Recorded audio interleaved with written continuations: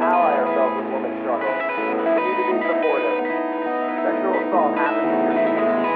It happens in punk communities. It happens in activist communities. My brother's been by your friends. My brother's the ones who done it. You might be the one. The way we're talking about the past is fine. Your friends are the ones that pass us.